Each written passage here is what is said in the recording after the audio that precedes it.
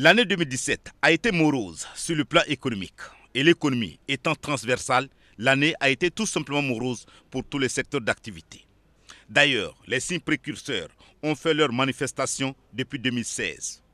Voyant le danger de loin, le gouvernement s'est vu dans l'obligation de réduire le train de vie de l'administration en prenant des mesures drastiques, au nombre desquelles les fameuses 16 mesures, lesquelles ont provoqué de nombreuses groins sociales.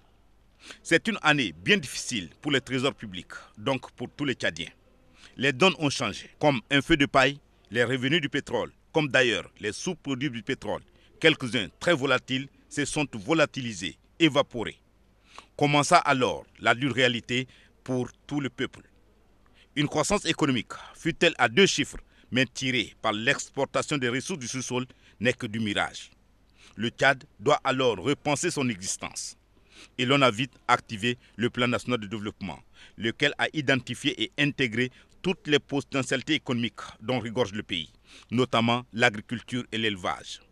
Mais ce plan national de développement 2017-2021 est-il véritablement la solution à la crise économique qui secoue le pays? Je crois que l'impact sera énorme pour euh, la vie de la population comme les plus hautes autorités l'ont voulu. C'est-à-dire que le PND, le gouvernement l'a fait élaborer en tenant compte de la crise. C'est une nouvelle vision du développement du Tchad. C'est une nouvelle vision. Donc, au-delà de la crise, le PND allait exister et la table devait avoir lieu.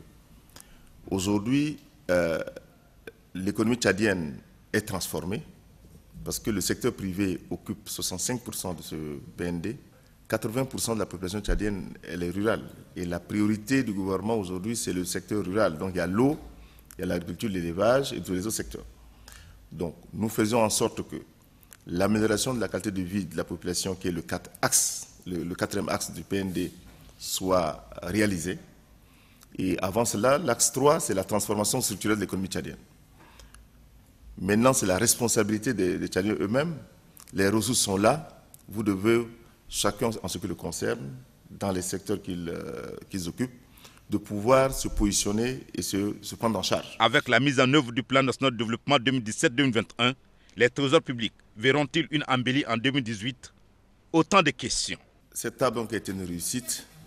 C'est une œuvre de tous les Tchadiens parce qu'en en fait, l'engagement de tout un peuple derrière son président a permis de réussir cet exercice-là.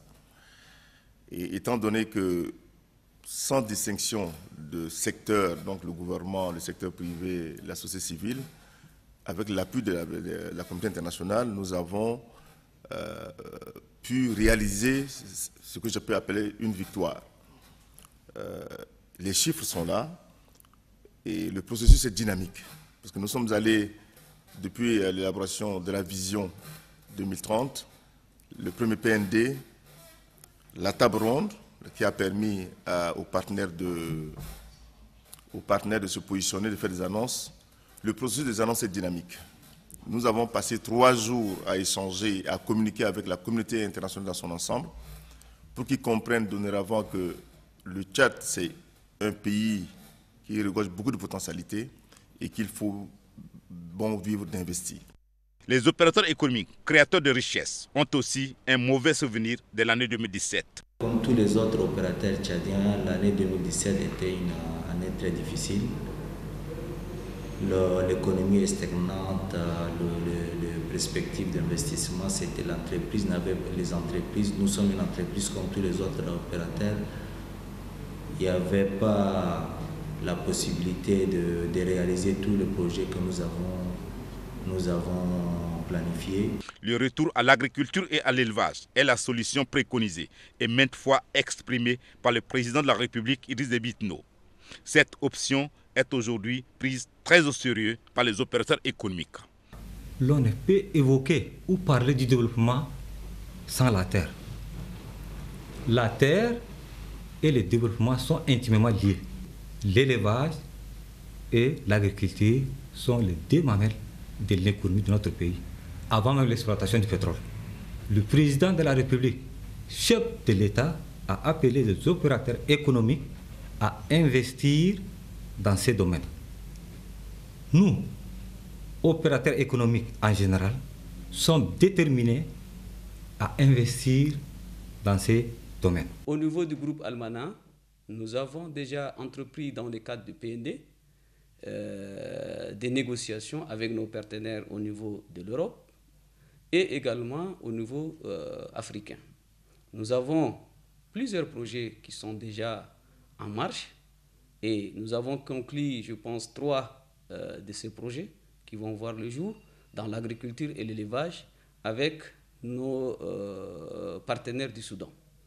Et dans le domaine du service et télécommunications, également à l'immobilier avec nos partenaires français du Duval. Donc, nous réitérons et nous sommes vraiment à 100% d'accord avec ce qu'a dit Son Excellence, Monsieur le Président de la République, et nous œuvrons dans ce sens et nous appelons tous les opérateurs économiques à faire du même. L'espoir fait vivre et l'espoir est tchadien. Le souhait de tout le monde est que l'année 2018 ne soit pas comme l'année 2017.